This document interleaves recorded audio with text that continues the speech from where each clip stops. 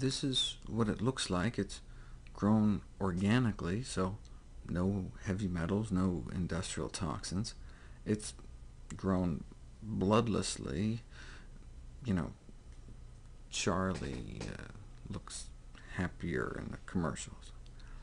It's grown sustainably, so you know, we're not contributing to the extinction of our ocean wildlife.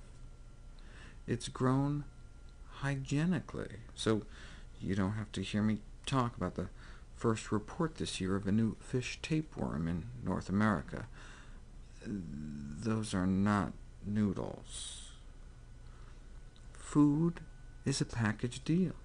No, we tell the maitre d', I'm not trying to be difficult. I do want the omega-3s, but could I at least get the tapeworms on the side?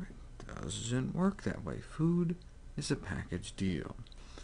As unsavory as this may be, it's not as bad as pork tapeworms, shown here sticking out, and here shown literally eating someone's brain. All the benefits, none of the risks. The long-chain omega-3s, the, the DHA in golden algae, found to be 100% bioequivalent to the DHA in fish flesh.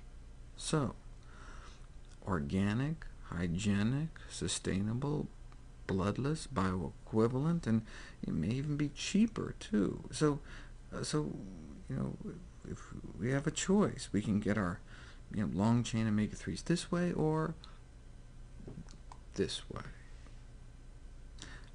Yes, people who don't eat animals have very low levels of industrial toxins in their body, but they also have very low levels of long-chain omega-3s. So I recommend everyone take 250 milligrams of microalgae-based DHA daily.